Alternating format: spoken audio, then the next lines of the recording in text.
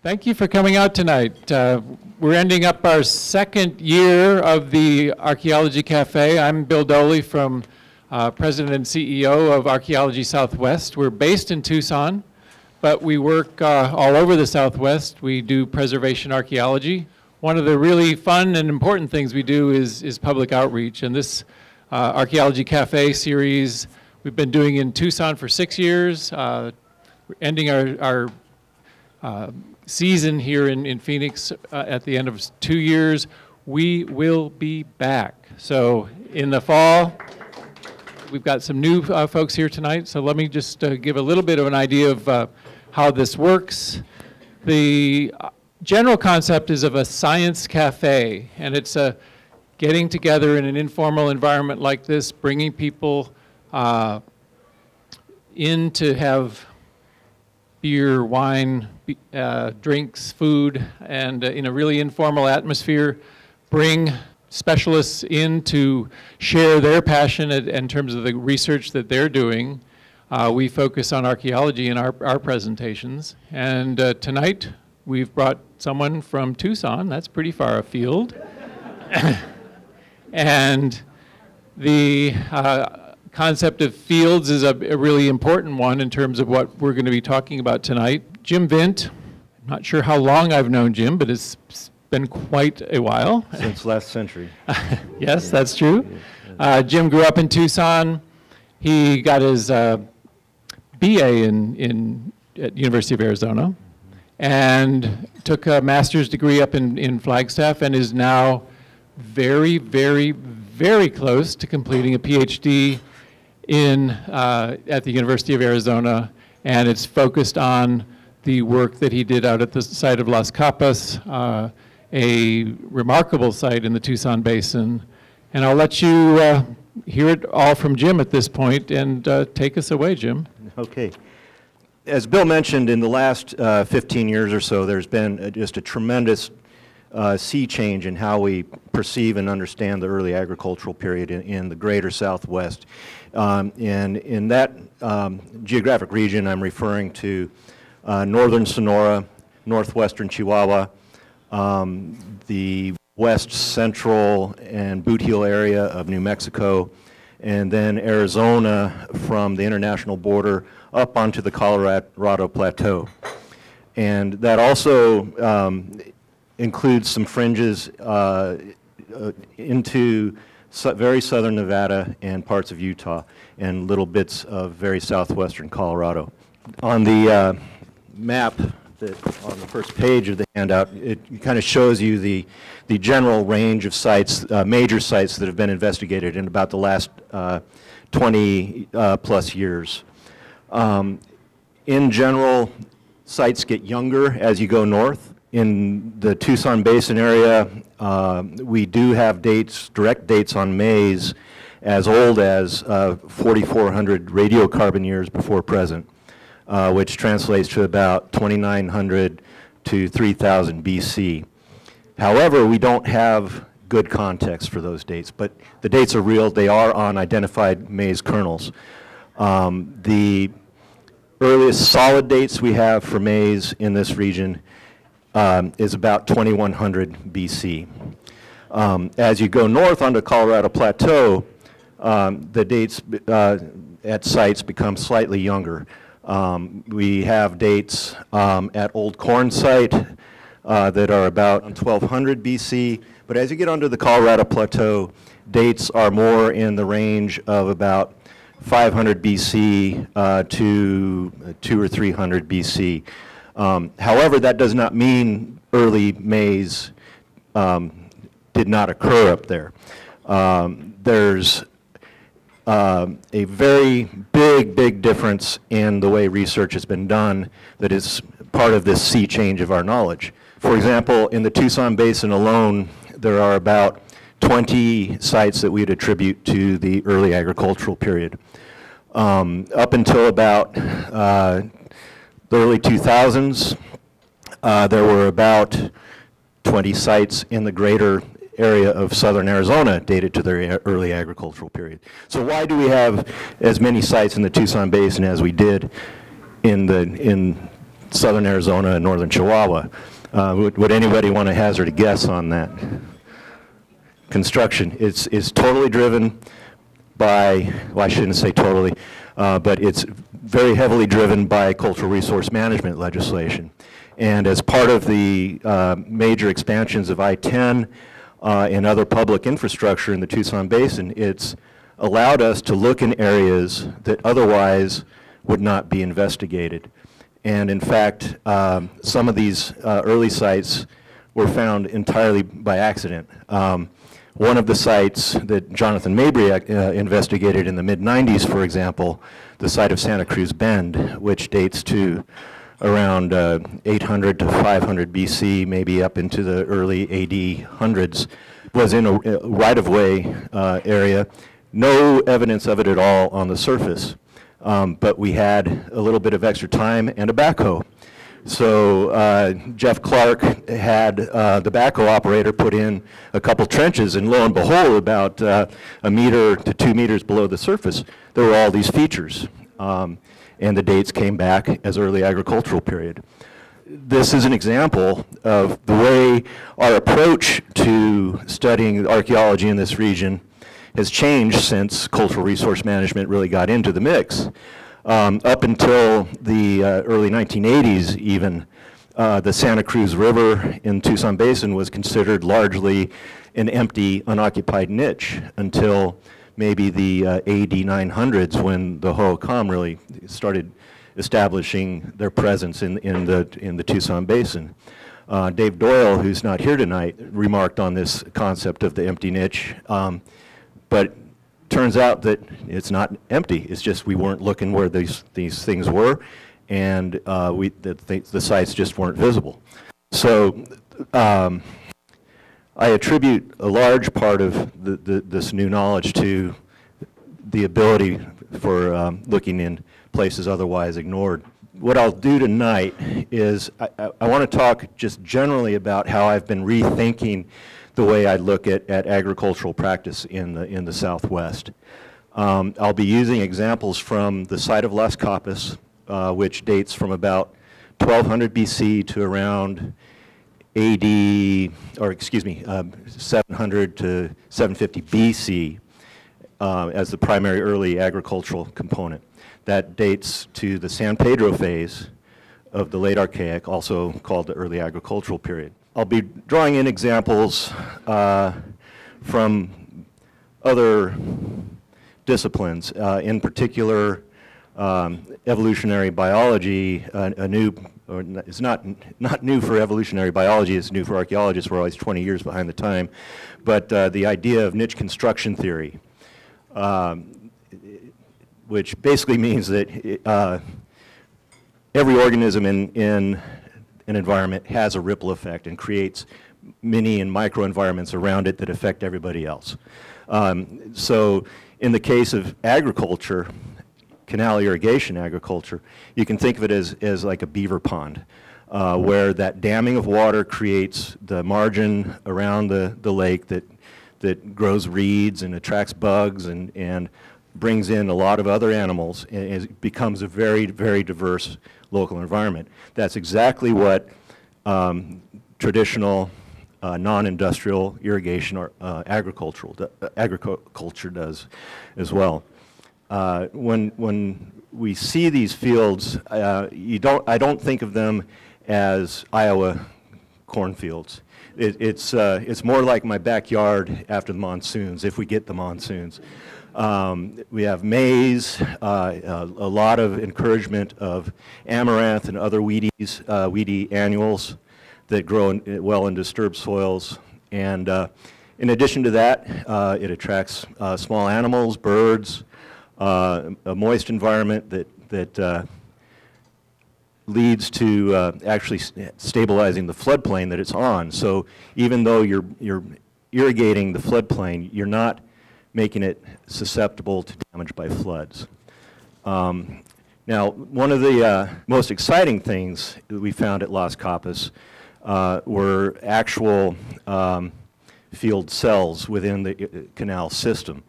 Um, we knew that there were canals at the site from the work that we had done uh, there in the 90s, uh, but uh, we hadn't really got a good exposure of them horizontally. We had them in trenches. We were able to trace some out and begin to identify where uh, the head gates or intakes might have been. Uh, but other than knowing that there were canals, uh, we didn't really know what the field structure was like. Now, Las Capas is not the earliest canal irrigation uh, in southern Arizona. We do have canals as old as uh, 1500 BC. Las Capas, as I mentioned, dates to about 1200 BC to around 750 BC. So we know there was, there was irrigation farming on the floodplain for at least uh, two to 300 years before Las Capas was settled. Once we uh, got uh, to the phase two excavations of, of, of, this site, which is now, well, it's, it's on the, the Ina Road sewage plant uh, campus in, in, Tucson near I-10 and Ina. And uh, they, they basically doubled the size of the plant, which is, which is what allowed us to do this extensive work. Um, when we were exposing the areas, we were using backhoes, again, in stripping. Uh, they were seven-foot blade, and um, because we're in flood deposits, it's very homogeneous, and the, the uh, operators are able to, to scrape very level and take off two to three centimeters of sediment at a time. So it, it allows you to expose very cleanly broad areas. And um, when we went into this, like I mentioned, we knew that we had canals, but weren't thinking at all about fields. And we were standing there one morning, and the light was just coming up. It was just right. And we started seeing these light uh, berm patterns um, going at right angles, just completely opposite to what the floodplain should be. And uh, we started following them out, outlining them with, with spray paint, which is what you see in one of the photographs. But by the time all was said and done, um, if you look at, I think the map is on the third page of the, of the handout. Um, we had fields exposed uh, in, about five acres of stripped area. Extrapolating that, um, we could estimate that a minimum of 15 acres could have been irrigated at this site using simple ditch technology, perhaps as much as uh, 40 to 50 acres at its apogee. When you're thinking of the early agricultural period, it's pre-ceramic. People were still hunting and gathering. Why would they do this? Um, that's a good question. I don't have an answer. Reuven probably does. Um, but uh, regardless, um, early maize was not a fabulous plant, uh, the way we think of corn. Um, this maize uh, was a popcorn variety and small. If you look at the second page, you can see kind of how it looks in the field. Um, if you're lucky and you, and you expose a piece, you get a, entire cobs, carbonized cobs, were maybe four centimeters maximum in length. Now, when you consider that when uh, plant tissue like this burns, you'll get about 10 to 15 percent shrinkage uh, in length, in di diameter. So the, these uh, maize cobs were maybe five and a half, six centimeters in length. Um, number of rows, uh, anywhere from uh, 8 to 14 rows of kernels, but very, very small. If you look at the page after that color photo of cobs, we have some uh, hand-drawn illustrations that Rob Ciaccio did meticulously um, is not really to scale, but uh, the one you, you, can see the one centimeter, uh, the centimeter marks on the right, on the left, and then the cobs blown up four or five hundred percent. Um, it, it, it really illustrates how small and we would think maybe measly the, these maize plants were. I, I think that that's a biased idea in many ways. We're holding on to this idea of agriculture being this, this jump into producing ever bigger and more productive seeds and plants. This maize stayed relatively unchanged for about a thousand years. Um, and maize is a very plastic plant, very easily hybridized, very responsive to microenvironment. So why would people invest this labor in producing and growing these little ears of, of corn? You know, you might get six to eight ears per plant, and it's popcorn. Well, Jenny Adams and I got to th thinking about this and scratching her head. Jenny Adams is our groundstone analyst at, at Desert. And I started diving into um, real science literature, not archaeology. Um, and there are a lot of different ways to use uh, maize plants. The stalks are very sweet, full of juice. Um, there are recipes from the 18th century uh, in New England and the Southeast for corn stalk beer that, that settlers made. They would mash this stuff and ferment it. It's basically like sugar cane. Popcorn is very hard to grind. The uh, grinding technology at this time was primarily flat metates that could not contain flour very well. This stuff is miserable to try to grind when it's dry. We, we've tried it. We've tried grinding it parched. We've tried grinding it simply dried. It doesn't work well. You're better off popping the kernels and grinding it into flour after it's popped and make something like atole. But when you harvest it green, it is super sweet. Um, the, the Brix, I, I, have a little, being a brewer, I, I have a, Brix uh, measurement instrument. Um, this green corn, we grew chapalote, which is a, a Mexican landrace that's a popcorn. It's not a good analog for this prehistoric stuff. We don't have a good analog for prehistoric uh, popcorn maize, but this is pretty as close as we can get. When we harvested these uh, green chapalote ears, it measured as sweet as super sweet hybrid corn from uh, the Midwest, recent strains. Um, now that sugar converts very quickly into starch, um, but uh, it's very easy to process. If you take these green cobs and rub them on a metate, you get masa instantly. And we, we, we ground this stuff up and made little cakes and fried it. It's delicious. Uh, you can make tamales, you can make cakes. Um, so there are a lot of different ways to use these maize plants than what you, we think of in terms of, of uh, say, Puebloan agriculture where they're growing flour corns. Um, and even uh, uh, some of the early uh, maturing uh, maize land races in this region. So when we say early agriculture, we shouldn't think simple or primitive. It was the happening thing then. I mean, it was a great, it was modern for them. It wasn't early agriculture. So it's, it's a wonderful complement to what they were already hunting and gathering. Uh, these irrigated field systems create little microenvironments that provide additional greens, attract animals, seasonal bird flights, and uh, you get um, a complete suite of, of what you need in uh, terms of plants. Um, they're still hunting. Uh, at Las Capas, we're, we're dominated by uh, uh, rabbits um, and some medium-sized game. But maize and amaranth, uh, mesquites, uh, make up uh, the predominant plant foodstuffs. Uh, now, what, what would any of you think of when you hear southwestern agriculture? You have, you have corn. Okay, uh, corn, beans, and squash, and why is that good? you get all the amino, acid, uh, amino acids complementary, um, which allows you to not have to rely so much on, on animal protein. Um, so early agricultural period, squash does not show up here until maybe 8 or 900 BC at the earliest. Beans don't show up until Reuven? Uh, around AD 100, I think, 100, 200. Kathy? Somewhere in there? Um, so we've got about a, uh, over a thousand years of people deliberately growing maize and incorporating it into their diet without the other two sisters. Amaranth. Amaranth grows like pigweed. It grows like weed. It's pigweed.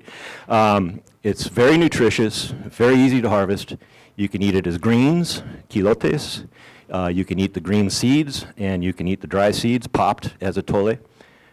Amaranth provides the same amino acids in ratios needed to complete the, the protein profile that beans and squash do. So even though maize was not the bulk of the diet, although it, people were becoming um, more accepting of it, um, maybe as a seed, in addition to eating the greens. Um, but uh, they already had that complete plant package. So the adoption of these um, Central Mexican agricultural um, pillars wasn't really necessary here. Once the investment was made uh, in really becoming sedentary and um, population growth uh, and change uh, through time, which is a black box right now for some things, but uh, they could get away with, with just growing maize and amaranth and other greens. Now, are any of you gardeners? What do you like to grow in the southwestern deserts here in the spring and winter, besides flowers? Uh, peppers, um, onions, greens, garlic, things that, that aren't really frost tender, uh, other than the peppers. Uh, so another thing that got me uh, thinking about what's different in the early agricultural period is um, growing season. We use proxies to estimate seasonality in archaeology sites uh, with, with different kinds of plant uh, macrobotanical remains and pollen identified in, in archaeological sites. But that's dependent on when those plants set fruit and when they're blooming. So you're measuring only those things. You're not measuring other aspects of those plants' life cycle. Right now, I have greens growing in my yard that have been going since uh, October. Um, granted, this is an unusual year, but uh, there's no reason that people couldn't be cultivating and encouraging these, these greens that can pop up in the early spring and go into the fall to complement what's being grown during the warmer months. And unfortunately, or frustratingly, it's, it's difficult to identify that kind of, of extended season growing because these greens don't leave the same kind of archaeological signature as, as the mature fruits and flowering elements of plants do. So we'll leave it to young ethnobotanists like Reuven here to uh, come up with ways to see this in the future. One other way we've been able to look at what's happening in these fields uh, in the early agricultural period is the use of phytoliths. Anybody know it? That's the nickel word of the day, phytoliths. All right, uh, it's the silica cast of, of certain plant cells. And they can be very diagnostic. And usually they're diagnostic of the fruiting uh, part of plants. Uh, maize, uh, cobs, and, and, and cupules have very distinctive forms. Um, different seeds uh, of plants have very distinctive forms. In the uh, field sediments from Las Capas, uh, we submitted uh, a number of samples for phytolith analysis, and one of the common uh, phytoliths we found was something that is very similar to little barley. Now, little barley is a cool season grass that generally grows at, at slightly higher altitudes at cooler climates, but it's undisputed in, in these fields in this low desert. How could that be? Well, irrigation just doesn't have to happen in, in the uh, warm months of the year. Um, based on analysis of little aquatic critters that we found in, in the canal sediments, ostracods and freshwater mollusks, there is a complete life cycle of these, these little animals from birth through mature to death um, our analyst Manuel Palacios Fest estimates that this indicates uh, a minimum of eight to nine months of water in the canals at Las Capas. Um, it doesn't necessarily have to be flowing 24 hours a day, but it's water there standing and pooling and flowing through enough for these, these animals to live. They're indicative of temperature and water conditions. Uh, many of these prefer cooler water and clean water, which um, we got from the Santa Cruz River. Um, so pieces of evidence like that can allow us to start making inferences of, but, of what else was being grown in these, in these early fields. I think that these fields were probably being irrigated for nine or 10 months out of the year. Um, my backyard, the, the hose is the analog for these canals. If you put water on things in the desert, it's going to grow as long as you don't get a freeze. So I think we're starting to get uh, evidence now that's allowing us to say that these weren't just itinerant early farmers playing with a new technology. We're starting to see people tethering to the landscape, investing in uh, canal uh, irrigation systems, and making a commitment to place and a lifestyle change. Um, and by lifestyle change, I'm talking about moving from groups who were relatively mobile, as modeled or inferred for the Middle Archaic, where people were tracking animals in seasonal rounds, to, to now having your own little mosaic garden in an ideal pristine place on the Santa Cruz River. And we've got sites like this up and down the Santa Cruz. Um, we just don't have a good window into them like we do at, at Las Capas right now. So I'm hoping that more sewage plants get built uh, so that we can open up some of these other sites. But, okay, uh, what do you folks think might happen when people settle down and build this kind of infrastructure? What, what's going on on the social landscape? Certainly more, more time to invest in building and enriching your, your local environment. Uh, you're not trucking around all the time, but people up the river are doing it. People downriver are doing it. Um, at Las Capas, we estimate that the village size was around uh, 80 to 90 people at any given time, including infants and adults and, and elderly that's a pretty sizable community. Um, and you're irrigating. My analogy for looking at these communities is uh, modern uh, New Mexico acequia organizations. Uh, has anybody seen how, the, how these operate? Um, they're a, a beautiful example of a social organizing system that's flexible and requires input from everybody and cooperation from everybody, but no one person gets to take over without everybody getting upset. Now, these canals, um, you can see they're pretty extensive across that site. The, the, uh, the Las Capas uh, area is within about 120 acres. The main ditches, um, from what we've been able to uh, measured from exposed profiles. The main ditches are about a meter and a half in diameter and about 75 to 50 centimeters in depth. Based on the cross sections, that allowed for a uh, functional water depth of being able to deliver water through the system of about 35 to 40 centimeters. Those then parse into smaller distribution canals, which then break off into uh, smaller canals yet that go into these gridded field systems, which I illustrate on a, a couple of those pages. Now, if you're living there year-round, you're digging this stuff, you need labor. You don't need a whole lot of labor, though. Uh, these field systems, uh, these field cells that you see in the aerial photograph, average about four by six meters in, in dimension. Um, how long do you think it would take somebody to dig one of those with a mesquite digging stick? Half a day? 45 minutes. Kathy says 45 minutes. Oh, Darby says 45 minutes. 28 minutes, based, based, on, based on us. Well, based on my young employees. Uh, uh, Fred Nials and I dug one out at a combined age of about 120 years um, in uh, about 30 minutes.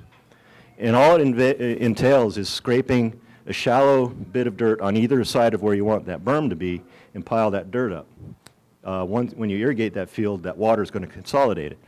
I had uh, some young strapping people dig one of these by themselves in anywhere from 20 to 25 minutes. Uh, You can translate that volume of dirt moved to canal construction. Um, With two people, you could dig about, based on our estimates, is- it doesn't mean it's true. Um, it- After all, it was late June in Tucson. Um, But uh, you could dig about four to six meters of of large canal uh, in half a day with two people. Yes? We're in, no caliche, we're on the floodplain. We're, we're, we're in this blessed, blessed soft silt, um, sandy silt. Um, so we have that going for us. Uh, not like up here. um, so we're lucky. Um, but uh, anyway, when you, when you start playing numbers games, you can get a system like this built to a functional level and then extended as you need it uh, over time. Uh, I've played some numbers games with this, and uh, you could have the entire extent of our largest documented extent dug with a labor pool of about 50 people in less than three months. So it's easy to do, relatively speaking, but it's also an investment. So how do you keep this working? This is where looking at the acequia uh, communities comes in, in my thinking. I, I have some pictures of acequias. They're, they're dirt, unlined canals, about the same sizes as the ones that we've documented at Las Capas. I've found several really cool studies on uh, communities in northern New Mexico that have a labor pool. Well, each year, the mayordomo, or the leader, or the organizer of these labor parties, um, brings people together to, to clean the ditches, landowners, uh, farmers who um, use the main acequia. Everybody's responsible for maintaining a certain length of ditch. Um, I've found several communities that irrigate about the same area as Las Capas. And the yearly cleaning out of their main ditch and distribution ditches uh, with a labor pool of about 40, to pe 40 people or so, using metal shovels, but it's not soft silt, uh, can clear out the length of these main canals in a day or a weekend at most. Um, so the maintenance is, is, is needs to be organized, um, but um, it can be done efficiently. Now, what happens when people get together and work? When they're done working? yeah, yeah. Um. And, and people who've been interviewed in these communities, you know, they have kids who have left and gone to LA or to Albuquerque, um, but they come back each year because this is their community. Um, they have people who don't even live in this community, but from down, downstream or upstream, they come in and volunteer to help. It, it forms social bonds. Uh, it allows, you know, politics to be resolved. Uh, it allows improvements to be made. Uh, it's a very, very strong social glue. And I think the more that we look at early ag communities in the Tucson Basin and elsewhere, we can probably start playing with some cool models about how these communities work together. Uh, who's upstream? Who's getting the most reliable flow of water? Why are some communities located here? Um, what happens, um, this is where computer simulation comes in nicely, because then you can change numbers and change water flow and so forth. But what happens if the community up here is diverting water when somebody downstream wants to use it? And these water rights are, are a major thing today, uh, even, even here. Colorado, southern Colorado, San Luis Valley. Uh, uh, it's, you know, it's, it's heart and soul of, the, of, of communities. So to kind of convolutedly come around to the end, um, I show some pictures of folks, uh, you know, digging uh, out those canals. Um, and I think of early agriculture not as early agriculture. I think of it as, as community. I think of it as um, a time when social and political organization was changing more significantly than subsistence. I'll just stop it there and uh, uh, open up for questions. I, I, didn't talk about a lot of things. I didn't talk a lot about uh, sediments, what we see in sediments, or architecture, or, or, or stuff, uh, points, uh, things like that. So uh, if anybody has questions, uh, uh, please feel free. On the picture that has the modern canal and your canal, on that uh, archaic canal, I've seen those kind of pictures from our Hohokam out at our Mesa Riverview and so on out there by um, Mesa Mound also. How does how does this really compare? I, I kind of looking at this forget about what the Hohokam canals look like in depth and in width. Okay, these, these are puny. Yeah, yeah, I have some colleagues who derisively call them ditches. And yeah, they're ditches, uh, uh, but they're very functional ditches. They're, they're the arteries. Um, Hohokam canals, completely different story. I, yeah, you, Kathy can tell you more about them, but, but, uh, but uh, yeah, those, those are several meters wide, several meters deep, and run for kilometers, tens of kilometers. that they did look puny. I would not say that, Mm-hmm. but in comparison to what I remember, but that wouldn't do anything but make the model that you're talking about, the community that they can support, only be a different size than ours along the Salt River.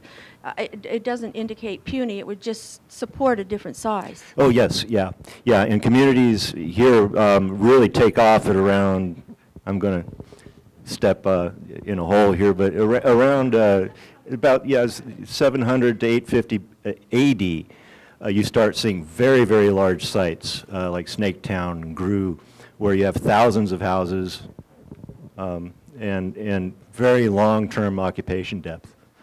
So, yeah. Um, I have a question that is, goes back to where, when you were talking about growing the chapalote, hmm and that you'd pick it green and grind it.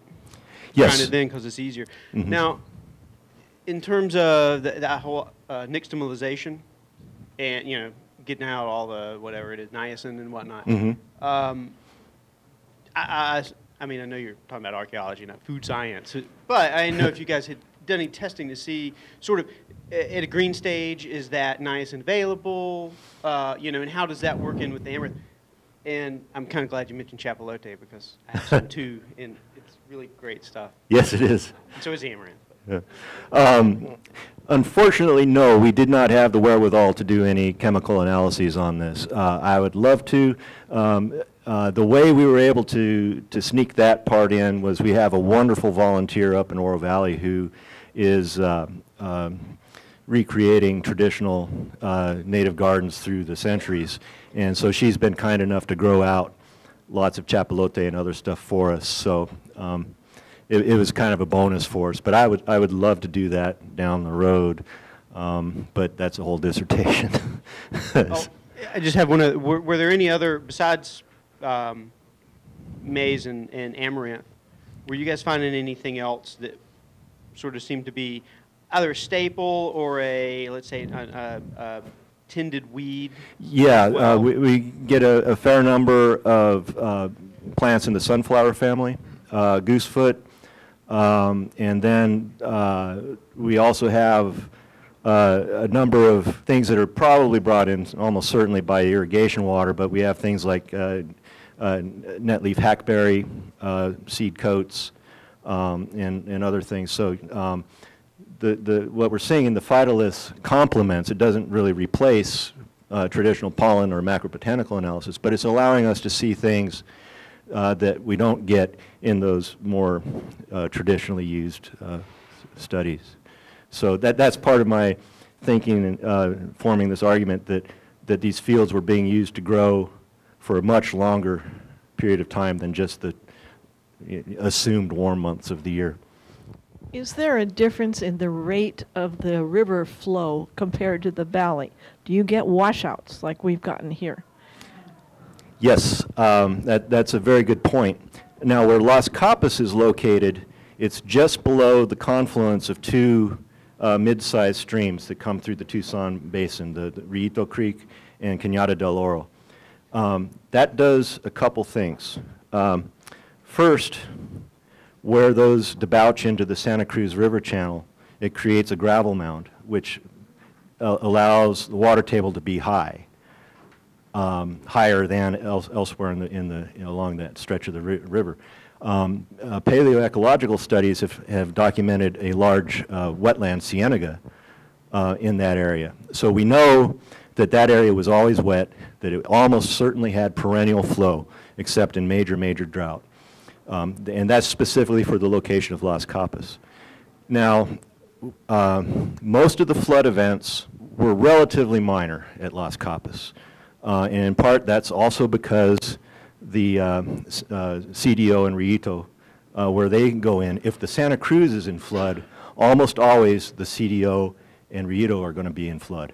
When those two debouch into the Santa Cruz, it pushes the main stream flow against the west bank of, of the Santa Cruz River, um, which protects the area, the floodplain area of Las Capas, which is on the east bank of the river. So it has a certain amount of natural protec- protection.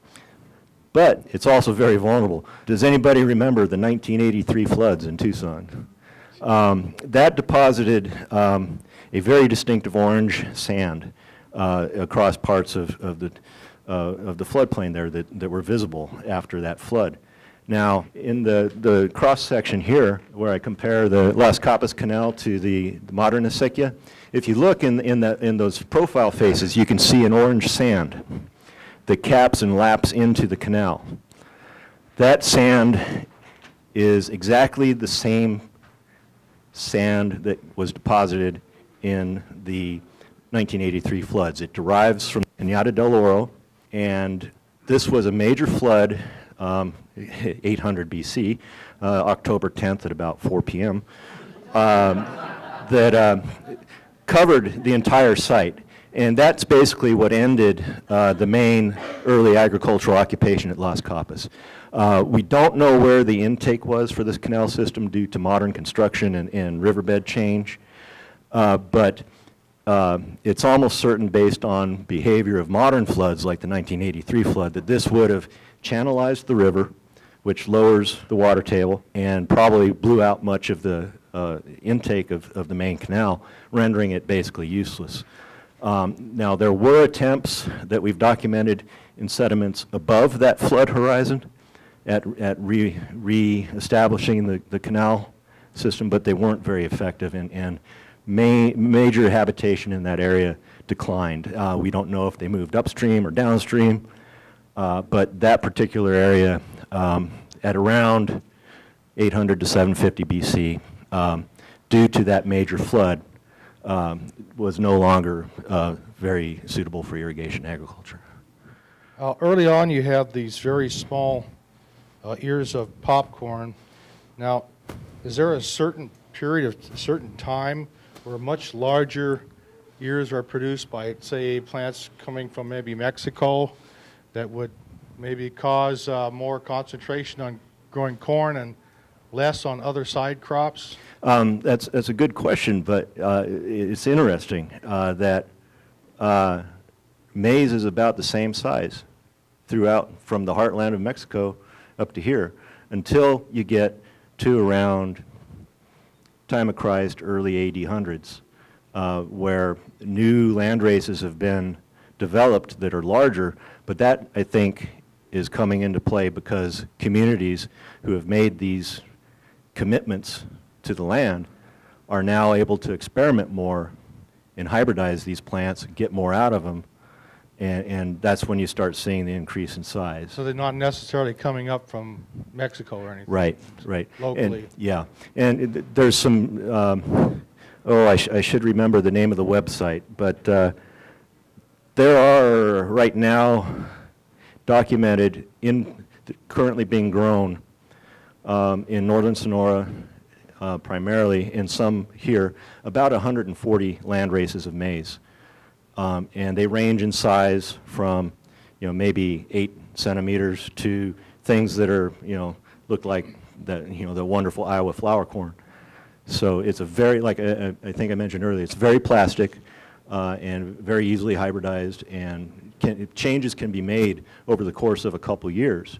Um, In the 19 teens, for example, University of Arizona agriculture labs were trying to incorporate or to, to grow uh, Midwestern flower corn out here.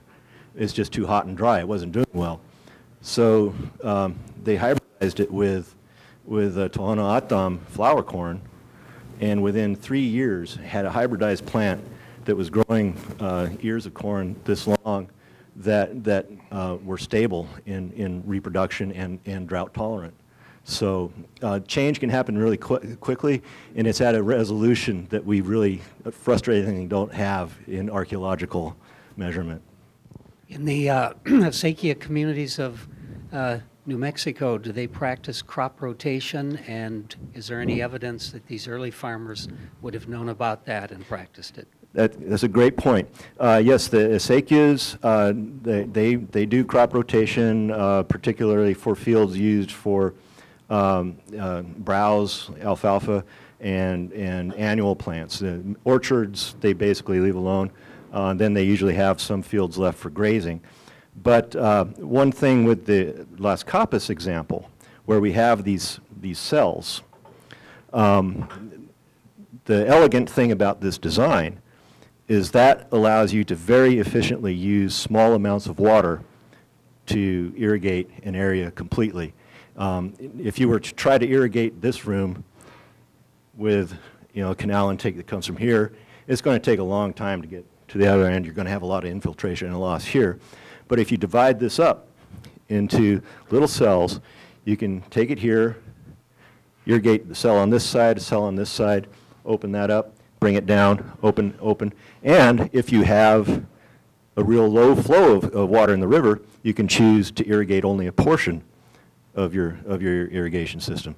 Or if you're working on, uh, with my idea of early and late season planting and growing, you can dedicate some areas of your field system to those crops while you let others either lay fallow or be remodeled or you know, otherwise stagger your planting so that you can harvest things in a, in a rotating manner. So it's a very flexible and, and beautiful system. I will go into the back. Uh, While I'm walking to the back, is there evidence of uh, storage of, of the maize Ah, crops? Now, that's, that's another thing that I think people aren't thinking broadly enough about. Um, One thing that you do see when early agriculture kicks in is, along with increased sedentism, we get large storage pits, big bell-shaped pits. I've got a picture with five of my crew members sitting in one. Um, But it's not the best way to store things. The Food and Agriculture Organization of, of the UN has done some wonderful studies in uh, the Sahel region of, of Africa and other um, areas of the north and south of the equ- equatorial line. And um, there are communities in West Africa who, who are dependent on millet, uh, similar, analogous to amaranth, maybe some of these popcorns. Um, they use both pit storage and above grain silos. Food stored in the pits, seeds, um, they line these pits and then cap them. You can keep food in there for up to a year. But within a couple months, that atmosphere in the pit becomes anaerobic because of the decay, which destroys the viability of the seeds. And within about six months, you have about anywhere from 40 to 70 percent loss of product due to rot and mold. So if you're storing for food, that's a kind of a last-ditch effort, and you'd probably be wanting to do um, um, storing of, of something like mesquite or something that's, that's uh, abundant, easily gathered and put in. Whereas for maize, um, it- it's probably best stored in above-ground containers. In this case, since it's pre-pottery, uh, they're probably wicker granaries, basket uh, type things. Um, But again, that's something that we don't get to see easily in the archaeological record unless you have a dry cave or something like that. Um, Jim, I had a couple quick questions, and maybe I missed the first one. Has there been anything similar to this kind of early agriculture um, site, these things we found along the Santa Cruz? Have there been similar findings up here in the Phoenix Valley? Or are we still looking for that, or is the Salt and Gila just not the right river, or? Um, Still looking, uh, very different geo- geo- geomorphic settings, and also a different mindset.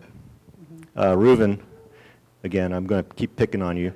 Um, Reuven uh, spent about a year and a half uh, with me out on, in the field at Las Capas and on the write-up. And uh, uh, he's recently been working for the GRIC, the Gila River Indian Community, uh, working on excavating uh, primarily classic period Hohokam sites. Well, in one of the backhoe trenches, people kept walking by this burned feature, and Reuven kept poking them, saying, "Hey, that looks like an early ag house. Hey, that looks like an early ag house." And um, they got they let them put a unit in, strip around it, early ag house, pits around the outside, just like what we have down here. So uh, it, it, this alludes to what I mentioned earlier of shaking that, that mindset that we've had since the 70s of places being empty until the Hohokam or somebody else came along, and also being able to work in areas that, that otherwise wouldn't be worked in due to cultural resources legislation. Even in Iowa today, they have to dry the corn and keep um, evacuating the air f- to Mm-hmm. keep the corn from doing rotting. Yeah, uh, the, the temperature and dryness is, is a really important factor, and I, I don't remember the numbers offhand, but if you don't get the grain down to uh, somewhere between, I think it's like 5 and 8 percent moisture, um, your rate of spoilage goes up logarithmically. Um, it's, uh, you know, it's the bad, one bad apple. I'll keep it easy, I promise. All right. um, now, so my question is, is simply put, like, what was the limiting factor? Um, they had solved the collective action problem of getting getting these canals built. They had the crops, they had water. Um, why didn't it get big like the Hohokam did a couple thousand years later? regional population, uh, regional networking, uh, marriage patterns, uh, and growth, growth rate of population in general in the region. Um, I, I couldn't give you offhand population estimates for this time period, but much, much, much, much lower than uh, even early Hohokam. So we're talking about um, people with a lower reproduction rate um, uh, and longer and more difficult ways of getting together and integrating these small communities. Uh-oh, here comes Reuven. Oh, So um, this idea of cool season domestication, or cool, growing cool season plants, sorry, not Mhm. domestication, um, specifically little barley. Why would it be that we don't have uh, evidence of little barley domestication until I'd say about 2,000 years later? Similar with uh, amaranth in the Hohokam region. Mhm. Um, if these folks were focusing their energy during cool season months on, say, something like little barley, why, why wouldn't we have domestication taking place? Why don't we have evidence of that domestication? um, that's a question I can't answer.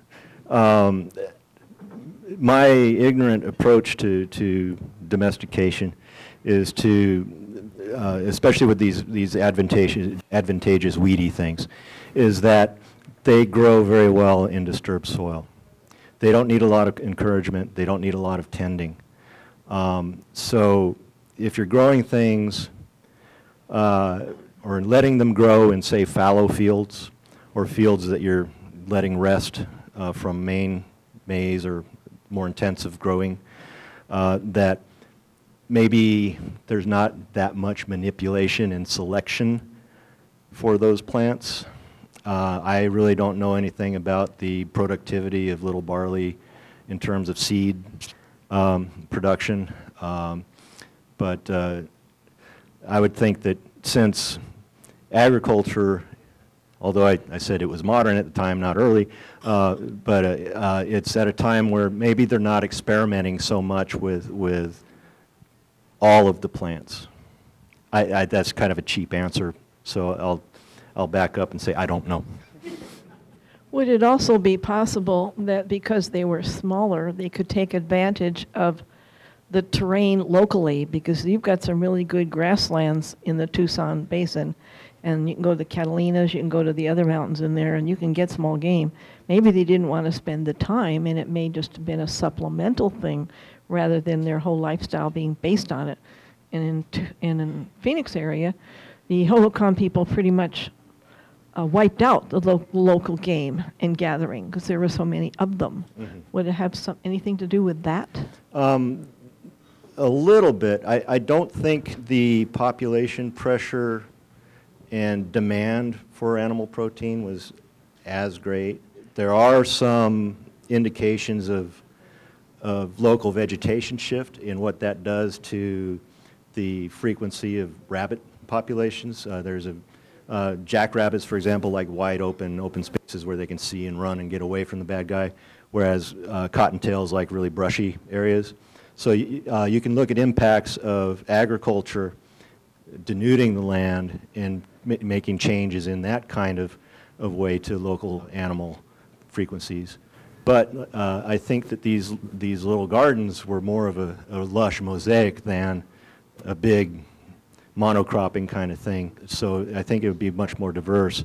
Uh, similarly, the, the rate of um, large mammal uh, remains remains fairly constant through time until you get up into uh, the, the formative or ceramic uh, period uh, around AD 50, 150, which is also when you start getting population increases and heavier pressure on, on the commons. Back to the weedy grass, the weedy plants. Mhm. Not such a cheap answer. I mean, I still harvest um, dandelions, and I would Right. never think of starting to plant dandelions in my garden, Yeah. you know? Yeah, So if they're Yeah. available, why Yeah. should I exactly. worry about it and put in, you know, put um, effort into it? Right. Yeah, and, and if you can encourage those things to grow more densely, then, then it might occur out, you know, in the undisturbed land. All for it, yeah. When does cotton make its way into Arizona? Uh, um, There have been reported instances of single grains of cotton pollen in early agricultural sites. But uh, that's like a sample number of three from three sites, and the, the, uh, the integrity of the context and identification, therefore, is kind of, eh. Uh, We do have definite cotton uh, in the Tucson Basin, I think by the, is it Agua Caliente phase? Somewhere in, in the AD 200 to 400 range. Oh, uh, Kath- Kathy, Kathy comments that uh, they, that here in, in the Phoenix area, uh, they've, they, they have cotton at about the same time period during what's the Red Mountain phase up here of around two- 200 AD. when everyone was talking about weed versus plant, cultivated plant, and uh, I was looking back, and, and you start off talking about sort of, the, I think, I think you called it niche environment theory. Niche Um, construction, yeah. Yeah, and, and I've heard that recently from um, uh, Native Seed Search. Bill Mhm. McDorman always talking about exploiting that native or that that um, niche environment to increase diversity. And, and, and I was just wondering if you could expound upon that just a little bit, maybe how you tie those concepts into what you interpret what you're seeing. Okay, I'll fall back again on a modern analog. Uh, There are um, fields uh, in northern Sonora uh, that are a bit larger than these, but um, the main field area that's irrigated is, is used for growing the maize or chiles or other things. Uh, Whereas on the berms and along the canals, reeds are allowed to grow, plants that are used as medicinals, wild tobacco, other things like that. And then, um, again, the opportunistic weeds that like um, the disturbed soil. And so by digging and maintaining these canals, bringing water into an area that's usually not wet increases the, the vibrancy of, of that floodplain or irrigated area. You know, technical terms like multifunctional agriculture have been thrown around. But uh, basically, it's enhancing. It's enhancing that local environment in a healthy way. It's not like modern monoculture. So you're, you're building little environments and everybody affects each other and is affected by others in, in that, in, in that, that landscape. Jim, thank you very much.